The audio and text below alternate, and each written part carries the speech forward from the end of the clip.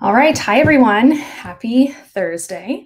Uh, good afternoon from Toronto. Good evening, good morning, wherever you are. Uh, my name is Claudia Pollock. I am the Community and Marketing Coordinator here at Ephimera. And today I have a very special guest, John Wright, who is joining me, who is dropping two series on Ephimera today. So just to give a bit of uh, an introduction to, introduction to the audience today, um, John Wright is a photographer based in London, UK, and is most notably known for his portraits of the celebrity. He has photographed stars such as the band U2, Lady Gaga, Paul McCartney, Rihanna, Michael Jackson, and more. He has worked commercially with luxury brands including Louis Vuitton, Dior, Fendi, Elie Saab, and other notable entities. Today, John takes the jump into the NFT world, dropping works from two distinct series, Icons and Clouded Judgements. Welcome, John. Hi, Claudia. Hi, hi. Thank you for having me online. It's really yes, uh, yes. yeah, thank you so much for being here. It's it's so awesome to have you here talking about your work today. Really, quite the pleasure. So, to get the conversation started, uh, this is something that I like to ask. You know, any photographer. I'm a photographer myself. Um, about their their journey. So, how did you get into photography? Can you talk a little bit about that?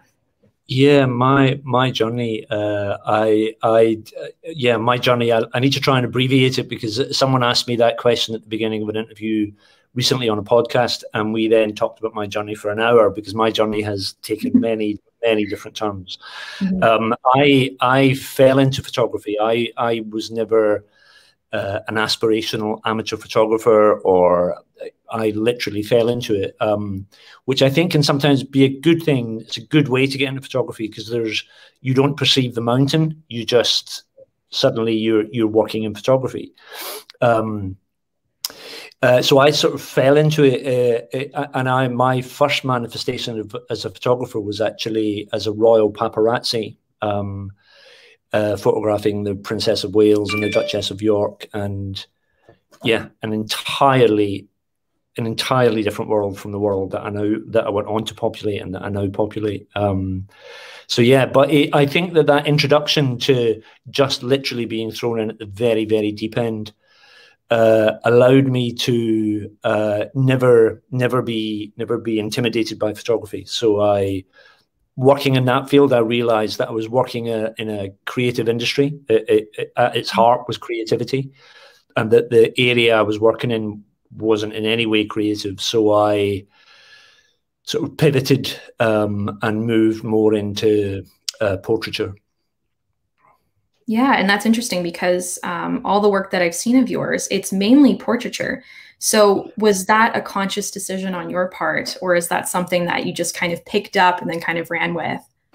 Well, I, again, I'm I'm trying to keep the journey brief, but um, I, I, didn't I didn't go from being a from a royal photographer to straight into portraiture. I I I, I had I found myself uh, shooting reportage, and I, was spending a lot of time in the third world uh, shooting uh, yeah, reportage, um, human rights and animal rights, and and various issues, and it was a uh, that was a that was that was a difficult uh, time as a photographer because I, I, was trying to use the camera to uh, to create change, and it, I, I, wasn't creating change. I was just helping to I felt to perpetuate the imbalance between the first world and the West and the and, and the third world. Mm-hmm. And it was really as an antidote to that that I decided I wanted to use photography to entertain. Um, and the clearest way that I could see to do that was to was celebrity.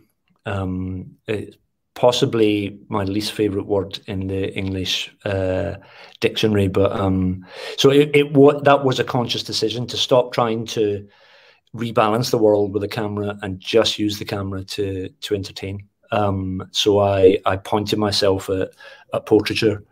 Um, yeah, and yeah, you've you've sort of highlighted the rest. Uh, just uh, I, I, had a I, I had an extremely uh, an extremely loud dog. I had an, an extremely meteoric rise uh, as a as a portrait photographer, and and was soon photographing some of the names that you've just mentioned. Um, probably the most famous person being uh, uh, Mr. Michael Jackson. Um, I actually have the last portrait of Mike, Michael Jackson shot um, not long before his death, but I have I have never sold it because I I uh, I couldn't bring myself to sell something. There was no interest in it prior to his death. It's only remarkable because it's the last portrait. But I've never sold it because I, I couldn't bring myself to profit from somebody's death. Um, but yeah, maybe, maybe one day I'll release that picture. Mm-hmm.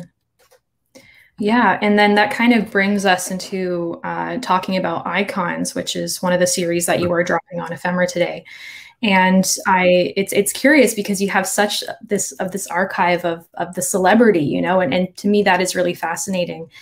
And so I wanted to kind of highlight um, just on your website here this image of you know, we can kind of go through all of these these icons here, but Rihanna and Gaga. Yeah, Pink. It's it's fantastic. It's so fascinating. I recommend anyone watching to just pop onto uh, John Wright's uh, website here to just to take a look because the breadth of it is fantastic.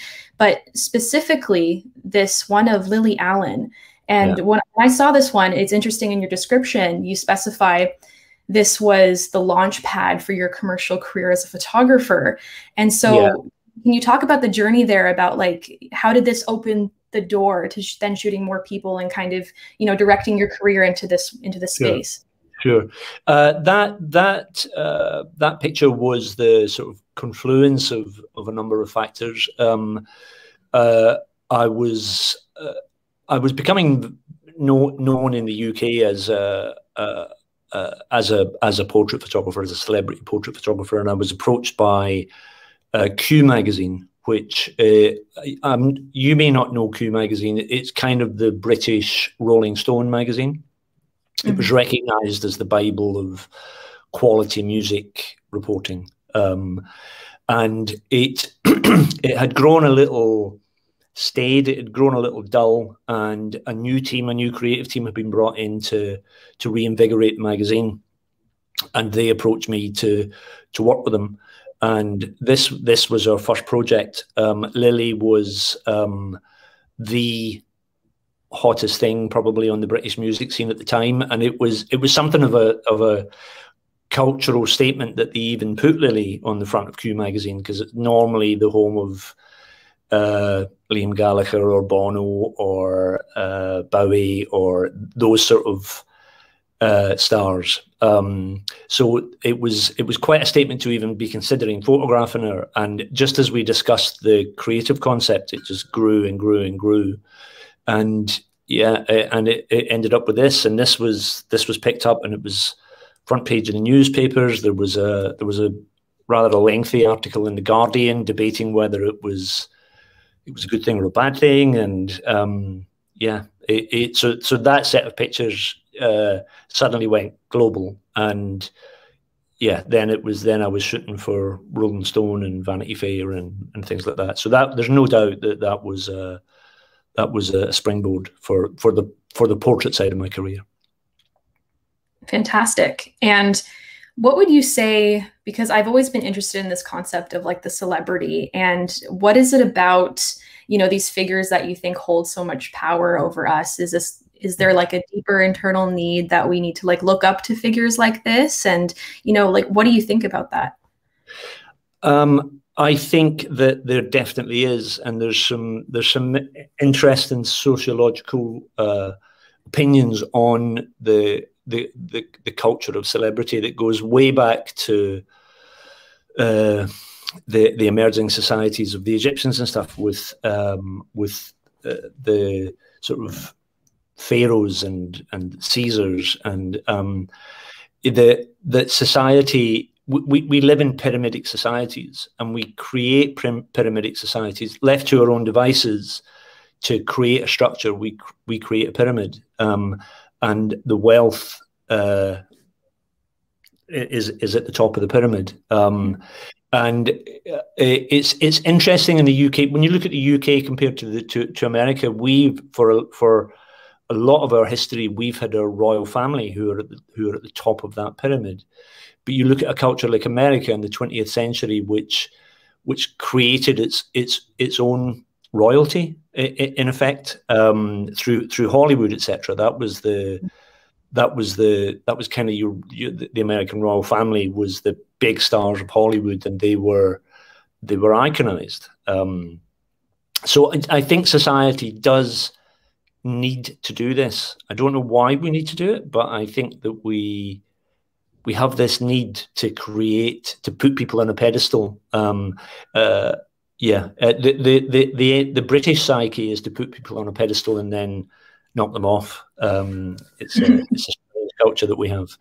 Um, but yeah, I think it is a societal thing. I, re- I really do, and it, I think it's fascinating now uh, that they, they, say that it's a it's a measure of a society. The, the the more people it tries to put at the top of that pyramid, and it's I think it's really interesting now that we have people uh, in you know.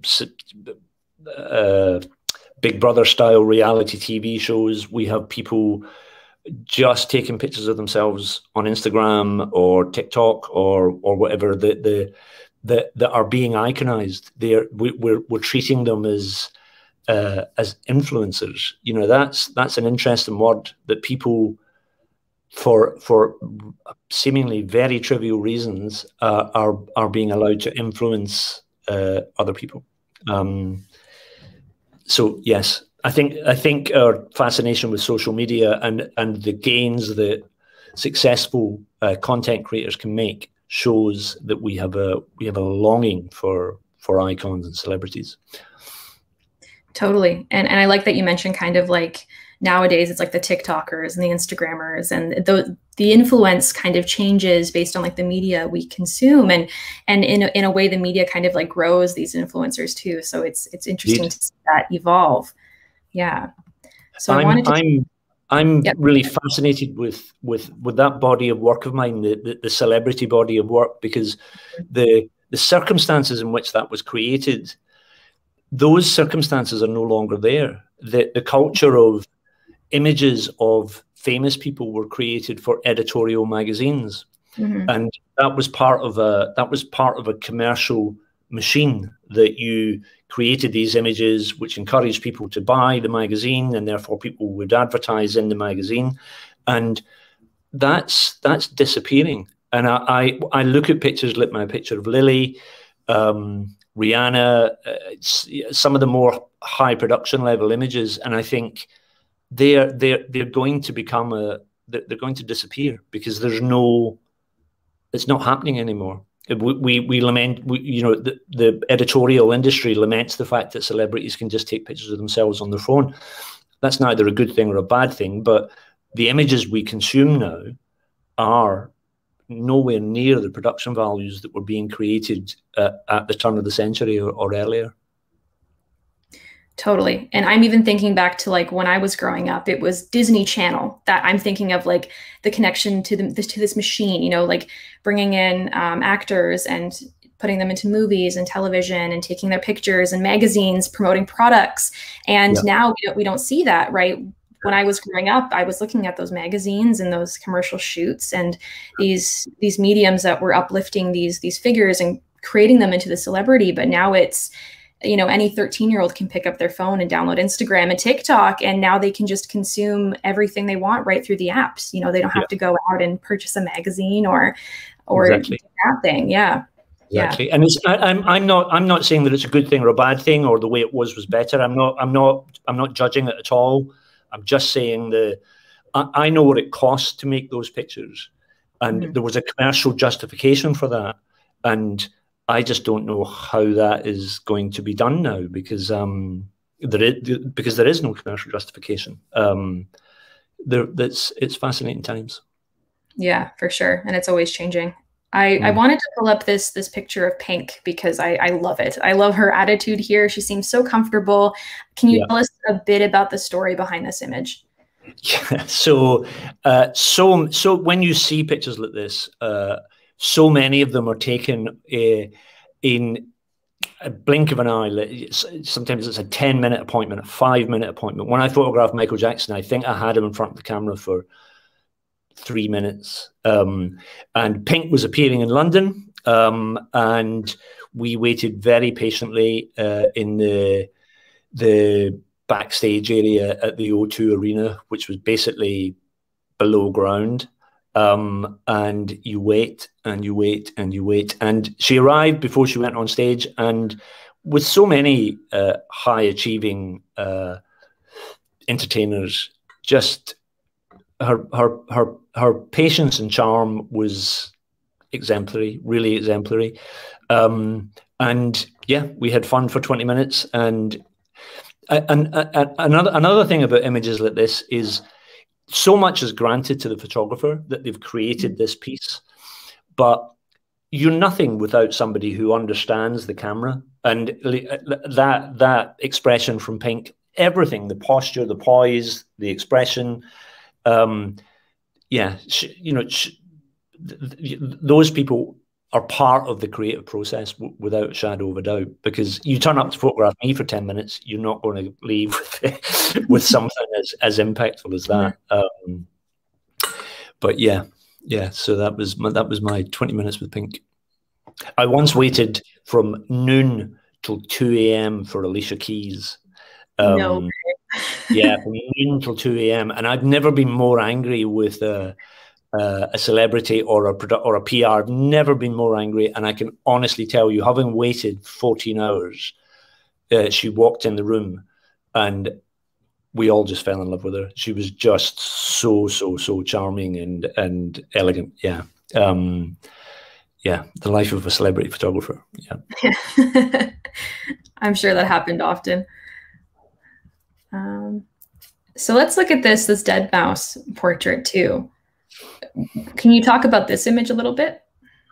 Uh, certainly, certainly. Deadmau5 was um, so. Deadmau5 hadn't really broken when we um, when I photographed him, but the one thing that he had done was uh, was lit his um, uh, his reputation as a disruptor, and he had he was he was very new to the house music scene, and was already dismissing house music as uh, as nonsense, and he could do it with his eyes shut. And um, yeah, he'd he'd arrived as this sort of bad boy punk child of the house music scene. So um, so we, I mean, it, it, it, it's it's hardly a new concept to do the the arrest wall, but it, the, yeah, we definitely felt that that Deadmau5 was possibly possibly en route to become uh, an Eminem style. Um, uh, artist with a lot of problems. Um, and yeah, so there, there was the concept. Um,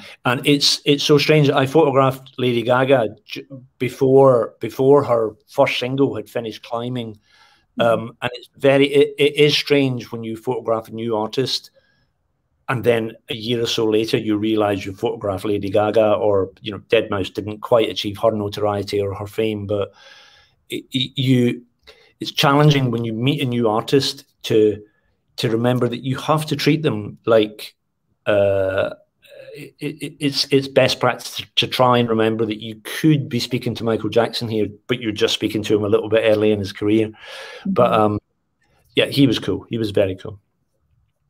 Awesome.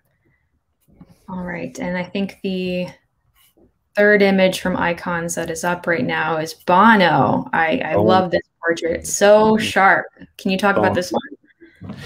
Uh, yeah, yeah, but I mean, I've, I've photographed Bono a few times, and uh, there's uh, yeah, yeah, it's it, he's going back to what I was saying about Pink. Uh, it's he, he is an incredible. He, he is. I love being around him because, as I've written in the description, it's it's you know he's become the probably the biggest rock frontman in the in the, the, the world. Um, I, I, don't know what's quite going to happen with U2 now, but um, it and just being with this, what basically just I I'm just a boy from Glasgow and this this boy from from Ireland who has become this thing. It, he's great to be around. Great to be around. Um, uh, I hate the term "so down to earth," but I, I just felt like I was with a some of the guys that I grew up with. He's just yeah, and but then again, you lift that camera up and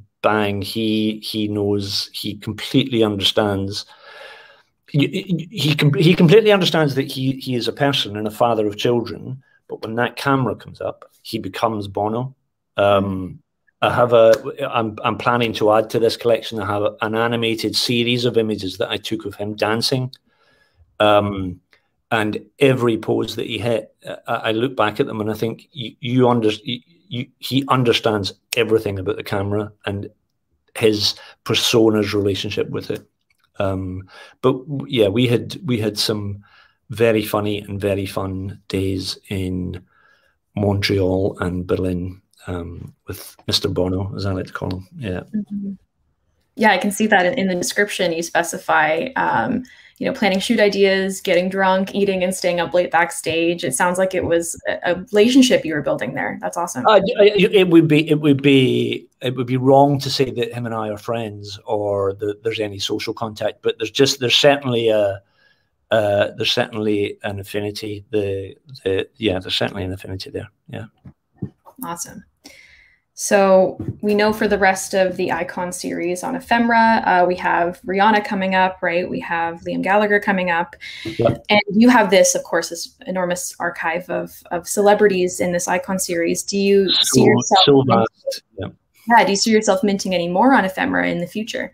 Oh yes, definitely, definitely, and I'm and I am fascinated to see how how how the NFT market reacts to this type of work. Um, and myself and some of my peers are now beginning to create NFTs from uh, from portraiture like this. Some people are, are are animating them or editing them or, or, or twisting them for the NFT market. And I'm I'm really interested to see what the response is. Um, yeah, what the response is to these um, because I'm interested to see how the how the how the two worlds collide but yes, so the next up will be uh, next up will definitely be Rihanna, yeah, and there's some more Bono, and it, it goes on forever. It, it, goes on forever. There's uh, Lady Gaga to come, um, Amy Winehouse to come, uh, lots and lots to come. Awesome, that's so exciting. All right, so switching gears a little bit, I want to talk about your second series that you started minting here, Clouded Judgements. So we have this image, which is uh, the first of the series. So can you talk about the concept behind this a little bit? I absolutely can. I've I've I've put an excerpt. Uh, I've put in the description there my my, my motivation with uh, with Clouded Judgements. I mean, I mean, for people who are watching this interview, this image now represents what my career is now. Um, I've I've repeatedly throughout my career decided that it was time to close whatever chapter I was in and to start a new one. And I now uh, only create art photography. I, I, use the camera to create art, which has been a strange, uh, a very strange transformation to stop thinking like somebody who provides a service, but to now be someone who creates work for its own critical value. Uh, and clouded judgements, clouded judgements is uh, the I, am a I'm a I'm a dedicated uh, student of uh, Taoism, uh, Buddhism, and uh, Stoicism. Three philosophies that I feel are are interlinked, and uh, I I'm a, a, student of them. Um, and the just the I'm, I'm struck across society. So many of us of every social class, every physical shape, every race, creed, color um, and every every wealth level, um, are uh, we seem to be we seem to be be experiencing uh, let, us call it anxiety and depression. We seem to be we seem to all be sharing an experience of suddenly an, an emotional unwellness uh, to to some degree. Um, and I my the, the the thing that has helped me to come to terms with that and move on from it has been my studies in philosophy. And all philosophies speak about the impermanence of of, of, of anything, of everything. Um, and um, clouds clouds are temporary and when we find ourselves beneath a cloud uh, and it can be just be an emotional mental state um, it's very important to remember that that clouds pass and they they uh, for for any two seconds they're not the same. They're constantly evolving, and and they do pass. Behind every dark, overcast sky, full of clouds, there is a bright blue sky, and those clouds will clear. Um, and that's kind of what I set out to com- to communicate with Clouded Judgements. It's been a really popular series. Um, in the analog world, um, I have there are there there are prints with collectors all over the world, and there's two galleries currently showing them um, on continental Europe. Um, it's it's it's my attempt to remind us that those those dark days um, they will pass. I love that. I when I when I first saw this series myself, I kind of understood it as like this disassociative state we can find ourselves in sometimes and in this like this fog you know and in that visualization of the clouds i made that connection with right away. And there's there's this saying and i can't remember who said it right now but this too shall pass. And that's something that i always I always think about like in every situation and it's it stuck with me for a long, long time. And so when you were talking about, you know, the, the cloud will go away and, and the sun will come out again, that's that's what I thought of is everything is temporary and everything Absolutely. will yeah. Absolutely. You've just touched on and you've just touched on uh, Stoicism um, and Buddhism. Um, this too will pass. You can trace its origins back to Roman philosophy, and everything is temporary. That's Buddha. That's that's From his own lips. So it, it, it's precisely that. So it's this is a this is a series of images that's an attempt to the the collector or the viewer just to remind us of that. And these are beautiful women in beautiful aspirational situations. It affects us all. It affects us all. Um, yeah, that's what this uh, that's what this collection is. Yeah, fantastic. I really love the environments you've built here and just kind of this like this fictional world you've created that's that's so relatable. It's so relatable. Um, so- yeah these these are quite high production uh, shoots. They are um, these are these are full set builds and stuff like that but um, yeah thank you. It's um, re- relatability i feel is very important. I i i want i want i want to try to communicate with my collectors through my images. And if i can remind somebody as those clouds descend if I if this work can remind somebody that everything is still beautiful, we just have some clouds at the moment and they will pass, then mm-hmm. then I've done my job. Yeah, it's it's something that we should all remember for sure. And uh, Clouded Judgements number three, this one will be coming to ephimera quite soon, yes. right? Yes, yes, yes, very soon, very soon. Awesome. Okay, and then going back to uh, this first image we were looking at, this one currently has an offer on it. So if anyone watching um, wants to, you know, participate in a bit of a bidding war, go ahead. it's a good time um, to bid on my stuff because I I'm new to this, so I uh, yeah, get in and grab it. Awesome, cool. So we're ending the near of our interview, uh, the end of our interview time here. So I, I wanted to thank you, John Wright, so much for coming out today, for sitting down with me, for letting me um, ask you some questions. Thank you so much um, on behalf of everyone here at Ephimera for for coming down and, and talking with us. Okay, thank you, Claudia. Um, and yeah, I look forward to working with you for the foreseeable future. Thank you for having me on Ephimera. Awesome, of course. And for anyone watching, uh, you can go to the Ephimera Marketplace. John Wright's work is currently up, and there will be more coming, so stay tuned. Okay, have a great day, everyone. Thanks, Claudia. Yeah, bye.